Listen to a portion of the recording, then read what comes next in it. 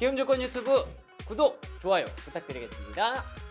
어, 일단 어제부터 좀 점검을 해봤었던 거 이유가 코로나 피해 구제 기금 관련 협상에 타결을 봤다. 어떻게 타결을 본 거죠? 이제 이게 그냥 주는 거예요, 빌려주는 거예요. 일단 구제 금융을 한번 좀 주고 음. 그다음에 어, 7,500억 유로는 그대로인데 네. 어 원래 이제 어제 미국장에서 나왔던 내용 그대로 합의가 봤다고 보시면 돼요. 음. 3,900억 유로에 3,600억 유로의 대출 뭐 이런 식으로 해가지고 아 반반씩. 예, 네. 예. 원래 이제 그거를 이제 뭐 3,500억 유로를 뭐 구제금융으로 하고 어쩌고저쩌고 막 서로 그거 갖고 싸면을 했었는데 그 뭐 그쪽은 가지고 그죠? 네.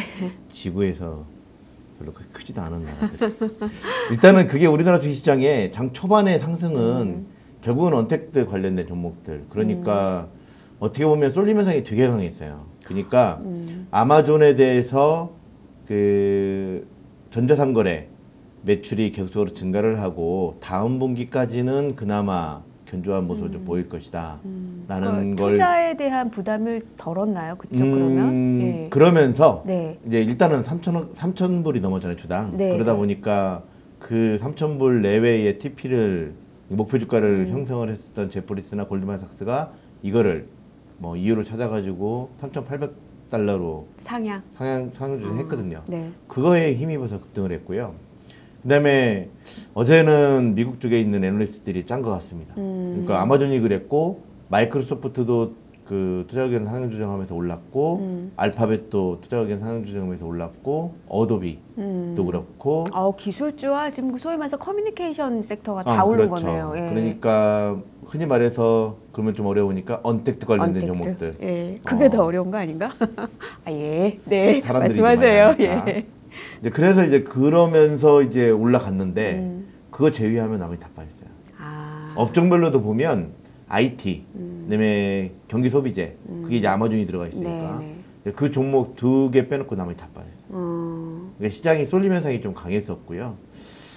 그 그러게요. 지금 시총을 굉장히 많이 자리 잡고 있는 종목들이었기 때문에 지수가 괜찮았던 어, 거네요. 그게 네. 지금 현재 실적 시즌이다 보니까 네. 실적과 관련된 코멘트들이 나와서 음. 올랐다고 보시면 돼요. 음. 그러니까 예를 들어서 뭐 다코뉴 에너지 같은 경우도 어 프로젝트 올라가네? 음. 그럼 폭등 실적이 좋아지니까. 음. 뭐 테슬라도 뭐 내일 뭐 어쩌고저쩌고 내일 모레 새벽이죠. 네. 어, 내일 모레 새벽인데 뭐 그게 잘 나오든가 말든가 일단은 3분기 잘, 나- 잘 판단해 실적이 좋아지네. 음. 어. 그 다음에 마이크로소프트, 어도비, 아마존 음. 전부 다 다 실적에 대한 기대. 마, 그다음에 마스터카드, 페이팔, 음. 비자카드 아, 이렇게 온라인으로. 음, 예. 그 다음에 블리자드, 음. EA 스포츠 어. 이런 것들. 그 다음에 뭐 소프트웨어 회사들 있잖아요. 네, 네, 서비스 네. 나우라든지 인투이트라든지 뭐 이런 쪽. 그러니까 온라인으로 뭐 하는 인투이트 그- 회계 관련 그렇죠. 그 뭐라 그러죠? 그 클라우드 서비스 하는 어, 데는데 예. 거기다 이제 줌비디오 어, 유명한 그 유명한 줌. 그런 종목들 위주로 해서 실적에 대한 기대가 높아진 종목들. 근데 그건 누구나 다 알고 있던 사실들이고 네. 그걸 기반으로 해서 이미 음. 언택트 관련이 올라왔음에도 불구하고 시장이 갈 데가 없는 거죠 돈이. 음. 그러다 보니까 이쪽은 그리고 지난주에 나스닥이 1% 빠졌었어요 네. 주간 단위로. 그러다 보니까 이제 좀 더 올라간 소위 말해서 덜 올랐다는 쪽에서 그렇죠. 돌아간 거네요. 말이 안 어. 되는 거지만 그러게요. 일단은 예. 뭐 쏠림 현상은 너무 강하고요. 음. IT 버블 이후에 이러한 쏠림 현상은 처음. 음. 그래서 언제든지 변동성 확대는 불가피하다.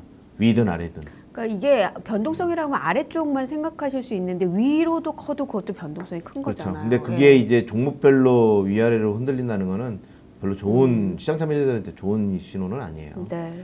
일단은 뭐 그런 식으로 해서 상승 출발을 했습니다. 특히나 방금 전에 말씀드렸던 것처럼 어, 태양광, 음. 그다음에 2차 전지, 그다음에 뭐 소프트웨어 이런 언택트 관련된 종목들 위주로 해서 강세를 좀 보였고 그다음에 오전에 나왔던 내용 오전에 그러다가 갑자기 또 치고 올라갑니다. 음. 9시 한 45분부터 외국인이 갑자기 이때 쭉 끌어올려 버리거든요. 음. 근데 이때 무슨 내용이 나왔냐면 그 EU 정상회담이 계속적으로 진행이 되고 있다. 네. 어, 그런데 합의 가능성이 상당히 높아지고 있다. 음. 이런 보도가 나오면서 상승폭을 확대합니다. 그리고 나서 이제 관망. 그리고 나서 이때 2시 정도에 타결. 음. 타결 보고 나서 일단 아 이때 1시 정도에 네. 타결. 그리고 나서 옆으로 줄줄 물- 물량 소화 과정, 음. 그다음에 지금 현재 음. 상황이라고 보시면 돼요. 그러니까 전체적으로 보면 그 오늘 우리나라 주식시장의 상승은 대체적으로 EU에 대한 흐름이 이제 나왔는데 근데 내용 자체를 살펴봤는데 이미 다 알려져 있던 네. 내용들이에요. 네. 이게 다만 이제 타결을 받다라는 게 어, 시장에 안도감을 줬고요. 음. 대신에 이제 주식 시장을 제외하고 이게 우리나라 주식 시장 좀 그렇게 움직였고 미국의 시간의 선물이 좀 더 올랐고 근데 문제는 보통 이러면 유로화가 좀 올라가줘야죠. 네, 네, 네. 유로화 약세. 음. 그다음에 엔화 강세, 달러 강세, 음. 파운드화 약세.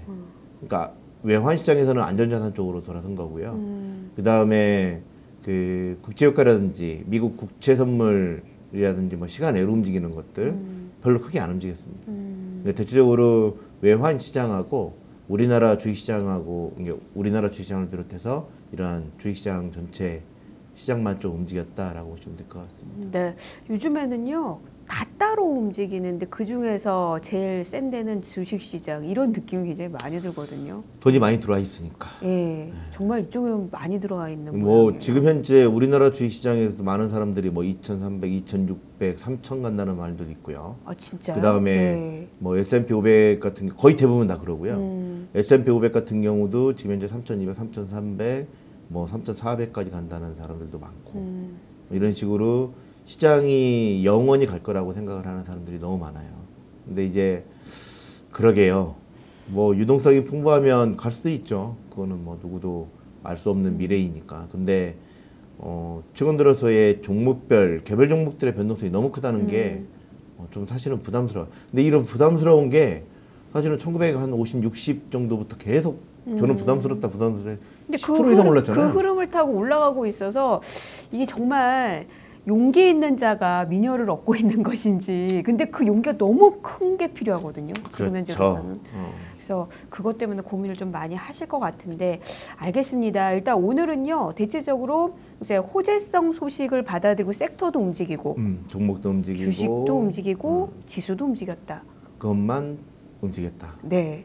그러니까 주식만? 주식만, 움직였다. 다른 데는 다른 금융시장 쪽은 크게 변동은 없었거든요. 알겠습니다. 키움증권 해외 주식 실전 투자 대회 총 상금 2,200만 원을 획득할 수 있는 기회. 매분기 도전 가능한 해외 주식 상시 실전 투자 대회에 도전하세요. 대회 참가만 해도 커피 쿠폰 드려요. 투자 시 원금 손실에 유의하세요.